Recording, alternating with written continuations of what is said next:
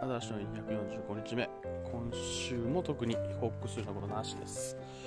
まあ茎ブロッコリーが順調に育ってるっていうぐらいかな。これもっと植えとけばよかった。まあそれぐらい。特に報告することなし。今日も一日勉強頑張ります。ほなまた。